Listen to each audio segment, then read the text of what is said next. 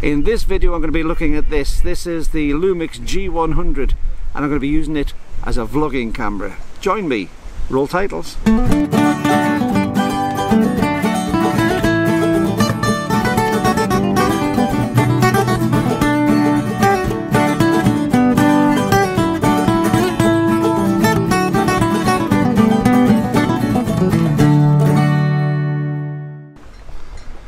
Hi YouTube, Brian James, I'm Micro Four Thirds guy with you on the first of two videos where I'm reviewing the Lumix G100, oblique G110 in different markets.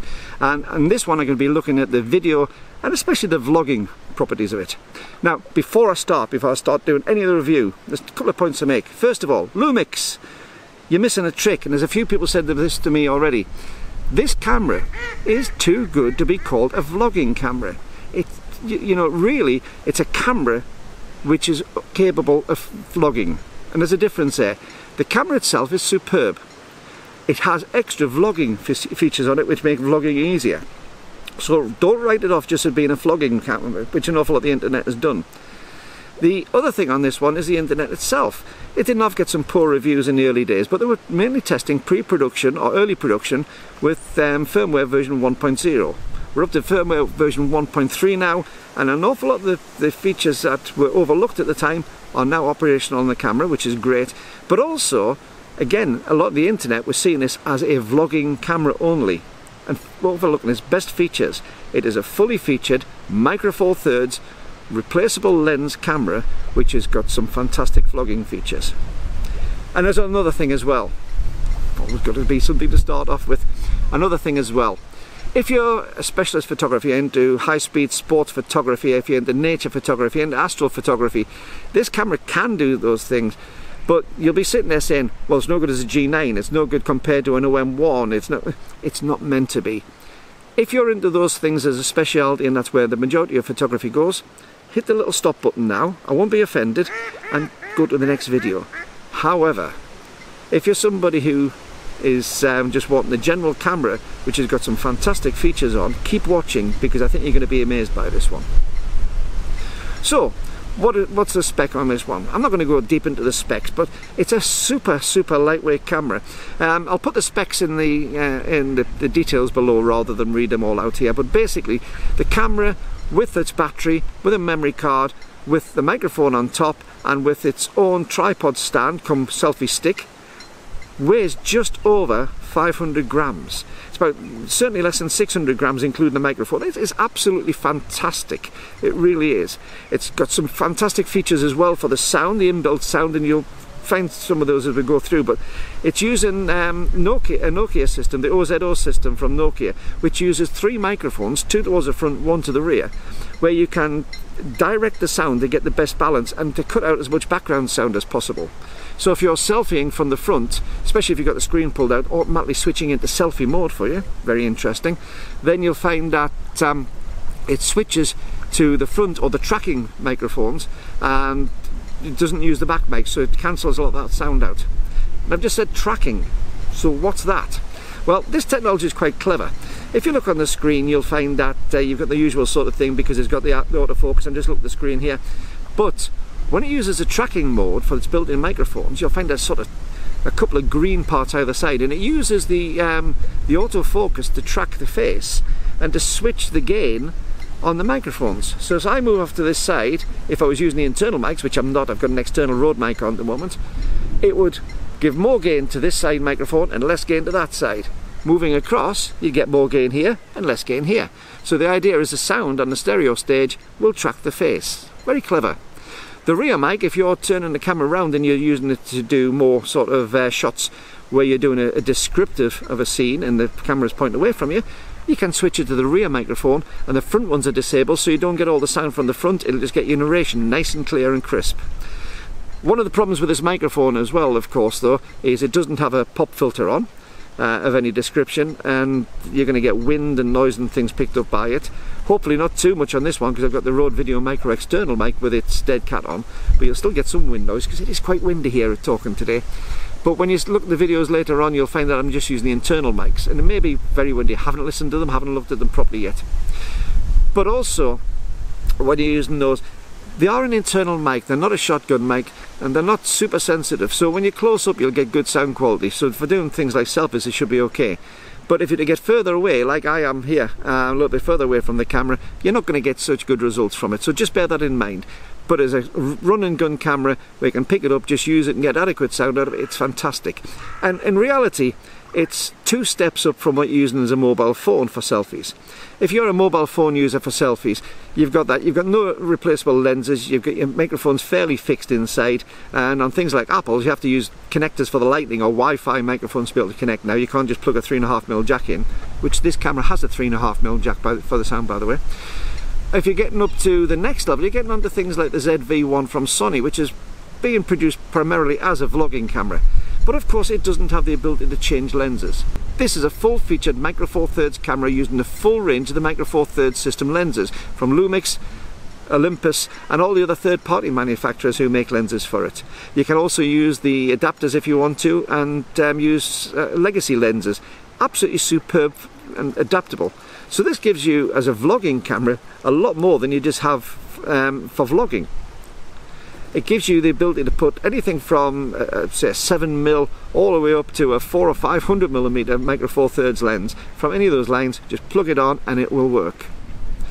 Now as I say I'm going to hit um, stills in the next video but I think when you see that you're going to see that the camera itself is superb. But as a, a video camera in itself let's have a look at some of the features on it one of the things I love, it's got the, on the, the screen at the side, it's got the red marker around the outside, just as the uh, G9 had.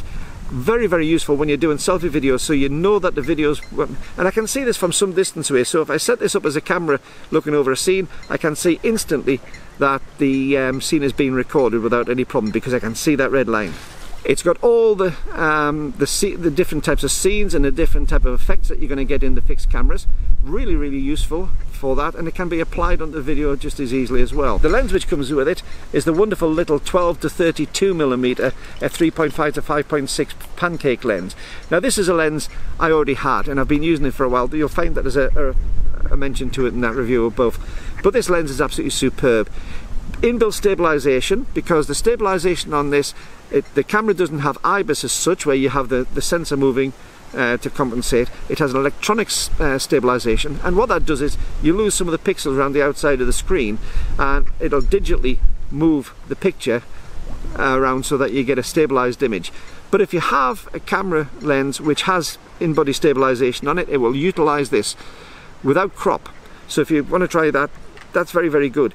I've also been told by a few people to try some of the other lenses to get around the stabilization because they're better. So I've brought out my 12 to 60 uh, 3.5 to 5.6 which is one of my favorite lenses. And um, we'll see how that performs in comparison to this lens in some of the live tests in a few minutes. Now I'm going to go inside in, indoors. We'll carry this video on there because it's starting to get a bit cold it's starting to get a bit windy. Join me indoors. But before I do have a look at some of the run and gun shots that I've done and we'll see you inside in a few minutes. Well, as you can see, I'm at the wonderful Talkin Tarn again in the background, and uh, what I'm going to do is I'm going to do a few little um, switches on this. One. I'm going to do a very, few very short clips with different setups. So we're starting off on this one with the um, Lumix 12 to 60 3.5 to 5.6 G Vario lens. This is a lens, if you look at the video above, you'll find it's probably one of my favourite lenses to use. Um, it came out equal top with the 17mm Olympus Prime when I did my five budget lenses and it really is a good lens. It's a little bit on the large side for the size of this camera. It is quite big compared to the camera because the camera is tiny, but it's quite light. So I'm still I'm holding it here and it's not too difficult to handhold. Um, I'm also using the tracking on the sound. I've got it on to selfie, selfie mode. You'll see me looking across at the screen every so often. And I've got it on to the audio tracking. So hopefully that's going to be able to, to take in the movements as I alter where I am the position on the screen. So let's take a few paces with this one.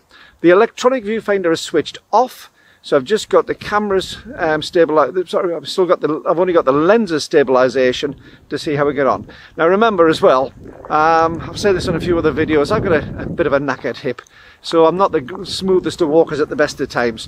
So you're going to get some movement, but let's see how it works just with me with a gentle stroll here uh, for stabilization. So once again, this is the Lumix G Vario 12 to 60 f 3.5 to 5.6 um, without electronic stabilization, just using the in-lens stabilization. So now I've changed to the 12 to 32 mm, which is effectively the kit lens for this camera.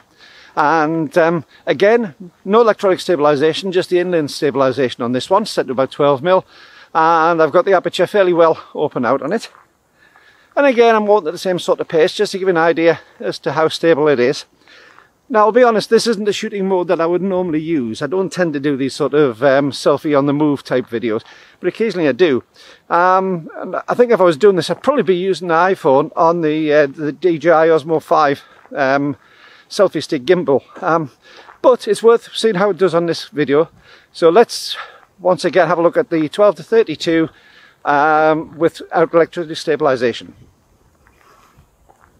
So I'm going to leave the, um, the lens on 12mm still, but this is uh, using the electronic stabilization on the standard setting. Now you'll see that it's cropped in somewhat, I'm still on 12mm, but it has cropped it in a little bit. Um, again, I'm walking in the same sort of way, so let's see what it's like in comparison to the previous two with the 12 to 32 and standard electronic stabilization. Now, we've come to the high stabilization on electronic side. And as you can see it's constantly cropped in. This is um, well I'll put my arm in its full whack full whack but this is uncomfortable to carry because my arm fully outstretched. So where it has been up to now it's a bit too close crop for me.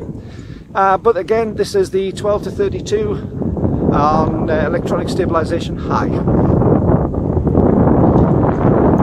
now this, just for the fun of it, I put my 14mm f2.5 prime lens on and this has got um, standard electronic stabilization because, as many of you pointed out in the previous video, yes, I made a mistake.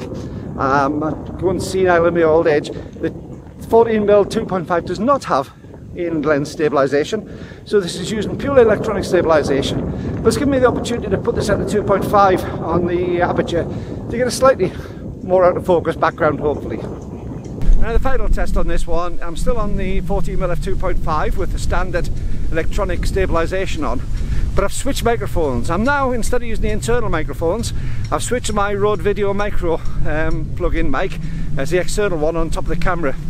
Not a great deal of notice to wait because the, the microphone is very, very small and neat and light, so it's still easy to handhold.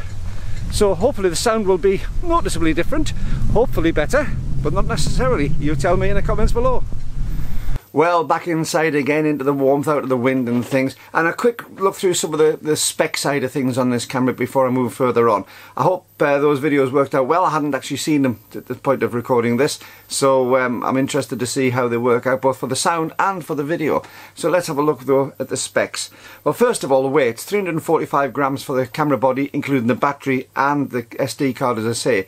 By the time you put the selfie stick come tripod on the bottom and also my little Rode Video Micro um, mic, it's on about 600 grams, which is about the same weight as the body alone of my G9. So this really is tiny. It's fabulous in the hand, it's got a really nice comfortable grip, uh, rubberized grip and a really good little rubberized thumb grip on the back. Um, the card, it's a single SD card in there which is um, UH1, UHS1. Um, it's an SD or an SDXC card that you can have in there. As I said, the sensor is 20.3 megapixels, ex exactly the same sensor as in the, uh, the G9. Obviously, you don't have so much of a backup insofar as the processing power, but the quality of the images which come out of this are identical to the G9. They really are in normal shooting. When you start getting into the high ISO and things, obviously that's where the processing side comes in. But insofar as being able to capture the image, exactly the same as on its top of the range G9. Um, the in-body stabilization is 5 axis unless you are shooting on 4K which is 4 axis.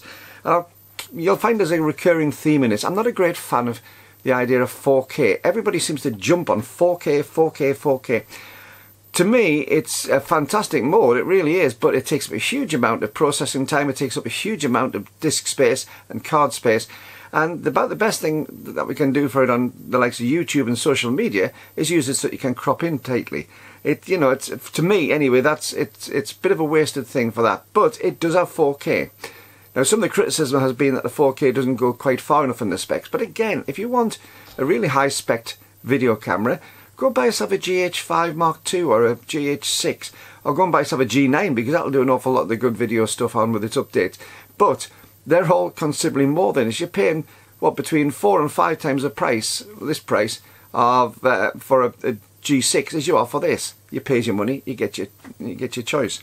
4K video will shoot in 24, 25 and 30p. Uh, 1080p video will shoot in 24, 25, 30, 50 and 60p. Um, it also has a wonderful little SQ knob on the top which stands for slow and quick mode and that what that does is it changes the frame rate between 4 and 120 frames a second.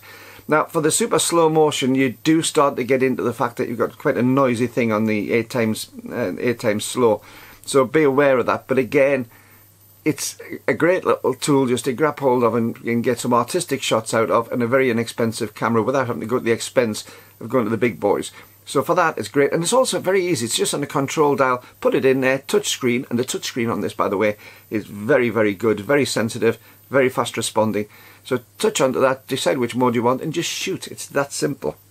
Um, EVF on this, uh, electronic viewfinder. That's the biggest letdown on this for me. It's a it's a 3.8 uh, dot viewfinder, electronic viewfinder. The viewfinder itself is okay.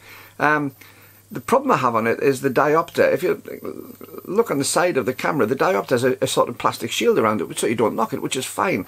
But the problem is when you're trying to get in to adjust the diopter with your eye in the right place, you can't get a finger or a thumb in to adjust it. So you've got to pull it away from your eye and adjust it slightly and put it back. There's no way to do a diopter control like that. You, you need to be looking at it to actually see when it's properly in focus. And as a 61 year old whose eyesight's starting to change, it is a needed and important piece of kit on the camera. Bad one on that Lumix, we really need to get it so you can actually adjust that rather than taking, what, 10 minutes to adjust it properly because you, you're just messing around and keep on going in and out to it. The screen is a 3 inch LCD screen and it's 1.8 million dots. That doesn't sound a huge amount compared to some but it's actually perfectly adequate and I'll tell you what it's probably one of the best flip out screens I've seen for doing vlogging because it is so bright and so clear. It's really fantastic going back to using my G uh, my GX1 when you had that, if it was bright sunny, you couldn't even you couldn't see it properly. And of course, there was no EVF on that unless you bought the extra. On this one, even on the bright sunlight the other day, I was able to quite easily use the back screen very very comfortably. So it's a big improvement. Now this is also going to kick the the, um, the the purists off. Oh, when they're going to get phase detect and all that. Look, it's got contrast um, autofocus with DFD um, and basically that is what you're going to get. It's no good whinging about it in the comments saying when we're going to get um, phase detect. It's not going to be on this camera. It's not going to be on Lumix I don't think for a good while. They seem happy with that. And I'll tell you what, the, for an eye detect and a face detect, this is probably one of the best cameras I've seen insofar as being able to pick it up quickly on the face detect. It's, it, it's very, very good. Really impressed with it. 48 area autofocus on this. Um, it has an electronic focal plane type shutter which goes from 60 seconds to 1 16,000th of a second. Now it is an electronic shutter, that's fair enough. We, we understand that, uh, but I'll come back to that in the uh, in the, the, the the photo review that I do of this rather than the video one. Um, what it does have, which is really useful for videos, is both focus peaking, so you can easily see on a manual lens, such as that TT Artisan 50mm that I had the other day. That would fit under this and easily get into focus. And also zebra patterns as well for seeing where your highlights and, and things are. Very, very good. On the video side for um, video styles, you have Cinelike D and Cinelike V, and you've also got Vlog L if you want to do photo grading. And again, the work just very, very easy, very easy to access, very easy to get into those modes. And if that's what you're into, photo grading, or if you're into the more artistic shots, very, very easy. You can put it in monochrome very simply, you can do all sorts of things. It really is a, a full-featured camera for that. Um, the connection on this is a USB 2 connection um, and it's a micro USB.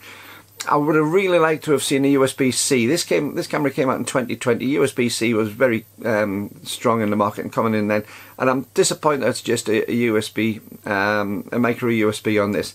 Um, I don't like micro USBs at the best of times. I find them a very flimsy socket, um, but the USB-C seems a, a lot more robust and certainly able to transfer more current and charge faster. Now on that you can charge directly from the USB with the battery in the camera. You don't need a battery charger for it, which I love because it means that if you're going between shoots, you can just stick it into a car charger, charge it up as you go and you get a full battery when you arrive at your destination. That's great. Speaking of batteries though, oh goodness, the battery life on this is poor. Um, you get about 320 shots if you're taking stills. Um, it's not great. It's a small battery. You could have a small battery and a small camera. There's, you know, there's, there's, there's the laws of physics. You can only fit a, you can't fit a quarter into a pint pot, as the saying used to go. But it is quite a, a small uh, capacity battery. Um, I was rather hoping the batteries from my uh, my GX one, I should say, would have fitted, but they don't, so never mind. Um, but the battery on this, it is poor life. I've ordered a couple of batteries, they're not that expensive. So I've got those two spare batteries coming through, and it's just a case of making sure they keep going getting charged. But as I say, you can charge it in between journeys if it's gone there. You can also um, run it, of course, from a bigger battery pack. So if you want to get a, a, a battery block, you know, one of these um, charging packs that you can get, if it's got uh, USB outputs on it, you can plug it into the camera and the camera will charge from that as you're taking photographs. You can't charge a battery as you're taking photographs. If you've got an external connection on, it will take the power from the external connection, but it won't charge your battery up. Same as on the G9. Um, let's see, it's got also in the uh, micro HDMI leads, so if you want to put it out, and it's a clean signal out as well. So if you want to put this out to do things like um, like um, uh, webcasts and things like that, you can do that. Now, on the early, some of the early reviews, when they were just using version 1.0 of the, of the, um, the, the, the, firmware, you couldn't do that. There's a, uh, a, there is a Lumix program to allow you to do webcasting and things, and use it as a, a, a web camera, but it wasn't working on the first ones. I believe, although I haven't tried it, I believe that on this, which is current version 1.3 in the firmware, that it does allow you to do that. Um, it will. It's got um, limitations on the, the video length. So if you're recording 4K, you're limited to 10 minutes recording length. You can stop it and just restart it again. Um, full HD on 50 or 60 um, you're limited to 20 minutes, and all the rest of the modes you're limited to 29 minutes in the full HD. They're not really big problems, but uh, it's worth being aware of those things on there. Now before we go on, don't forget if you have enjoyed this video, if you found it useful, hit the subscribe button if you haven't subscribed already. If not, why not? It's free. And don't forget to get the notification bell to see updates of all new videos coming out. And don't forget, seriously, give me a big thumbs up because that helps YouTube's algorithms to spread the video to more and more people. And if you do like it, there's a little PayPal link if you want to buy me a coffee and help support the channel by um, by helping it along. Now then, thoughts on the camera. Oh, wow. This is one of those cameras which I think the internet, as I say, has done it an injustice. It's a damn good vlogging camera. Probably one of the best vlogging cameras you could ask for because of the size, the adaptability, and the, um, the, the quality of it overall. The marketing of it, as I say, I think is totally wrong because they're pushing it out just as a vlogging camera. It's got so, so much more. It is really, really good. In the hand, it's one of those things, as I said a little earlier, it's comfortable, it's nice and easy to use, and it fits comfortably in the pocket, especially with the 12 to 32 mil um, lens on it, the kit lens which is super sharp lens. I mean, I've said this before, this lens is a fantastic little lens. There's, there's links above if you haven't seen it already to a previous video on this. But I find that this is great. You can stick it in your pocket, pull it out, take a photograph easily, take a video easily. And what that does is it inspires me to go out and take more photographs. Sometimes I get to the point where you, you look at the gear, especially the bigger gear, and you think, oh goodness, yeah, I've got to stop faffing about that. I just want to sh shoot and go, you know. It, and that's what I want to be able to do a lot of the time. And that's why mobile phones have proved so effective, really have proved so effective. This is the next step up from mobile phones and it is just as inspiring. And the other thing is as well, they made it very simple. There's a little button on the top which allows you to directly connect onto your smartphone or your smart device to transfer the pictures over easily. You need to use the um, the Panasonic um, Sync app, which is free on, on the app stores for whatever your device is. Uh, but once you've got that set up, and it doesn't take a great deal of setting up, transferring photographs is incredibly easy to your smart device. And then getting them uploaded from there of course is, is child's play onto the social media or if you want to put them into editors or whatever. And I'm going to do a, uh, a video on how I do my uh, editing on the smart devices very soon. I've had a few people ask me what my workflow is on that. So in conclusion absolutely superb camera for vlogging. I can't think of a better one. It has the edge over things like the ZV-1 because it has the removable lenses uh, and the full gamut of the Micro Four Thirds lens system. But whatever it is, I think this is just a really good camera. Certainly worth checking out. Fantastic for the size and fantastic for the weight and the adaptability. And if it if, if you're doing any sort of video and you're not at the pro level of video, you're not in that sort of extreme bit, this is probably the camera I would suggest going for. It really is good. However, Until the next time, there'll be another video, as I say, coming up on the still side of this. Until the next time, keep on taking your camera out, keep on taking your photos, and uh, I'll see you next time. Bye-bye.